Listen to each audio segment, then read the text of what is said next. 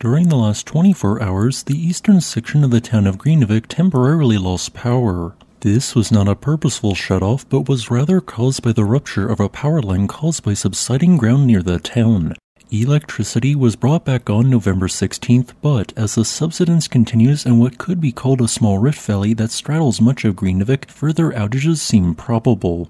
Sulfur dioxide gas was also detected at a new location, a borehole at the Svartsengi geothermal power plant. While in theory, the detection of sulfur dioxide could indicate that magma is within 1000 feet of the surface, it is also possible that this gas is being released from magma much deeper in the crust at a depth of 2 to 5 kilometers. The detection at the Svartsengi geothermal power plant might initially seem surprising, but I must remind everyone that a location a kilometer to the southwest is where magma was primarily pooling at 5 kilometers depth between October 23rd and November 9th. If we look at the ground deformation data between November 14th and November 15th, we will see that this original uplift center and a spot on the southwestern end of Sundhnúkagígar are both displaying notable uplift. Since these two regions showed some form of an at-depth magma connection between November 9th and November 10th, it isn't all that surprising that magma is now once again intruding underneath both locations. While a volcanic eruption could still occur at any point along the existing 15 kilometer long dike, the declining rate of earthquakes suggests that fairly sizable parts of this dike are currently inactive and are actively solidifying.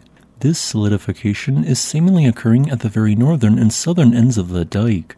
Only about 29% of the dike's length appears to not contain actively solidifying magma, but this is merely my opinion. Thus, if an eruption was to occur anytime soon, in my opinion the most likely spot would be at the very southwestern end of the Sundhnúkagígar crater row. If you are looking at the past 5 days of continually declining earthquake activity, you would not be wrong to think that the odds of an eruption are indeed decreasing, although whether this is a major or only negligible decrease is uncertain.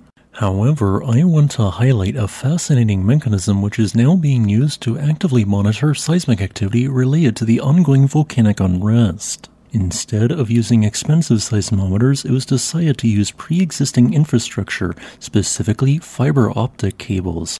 In this process, laser light is sent into the cable which in its core contains glass. While most of the light bounces around in a forward direction, a small amount will naturally bounce backwards, returning to sender. This occurs at an essentially constant rate which can be measured. But if an earthquake occurs, the ground movement causes the cable to extend or compress slightly, causing a different than normal travel time of the relevant light which is bounced around backwards. This can be measured, essentially turning each cable into dozens to thousands of closely spaced seismometers. In fact, you can view the live seismic data this fiber optic cable is producing via YouTube livestream I have linked in this video's description, which is completely unaffiliated with this channel.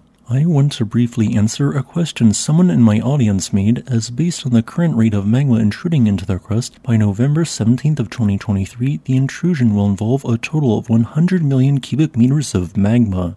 They want to know how this figure relates to the size of a subsequent eruption, assuming an eruption does end up occurring.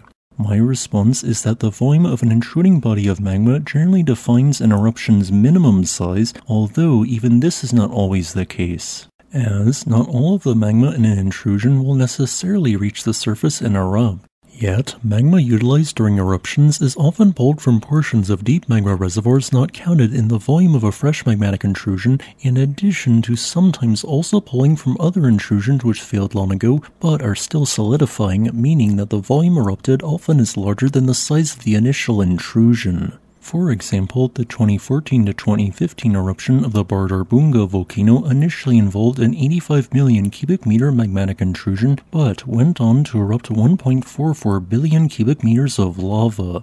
As a final note, I would like to thank this channel's new patron, Ryan Webster, for supporting this channel.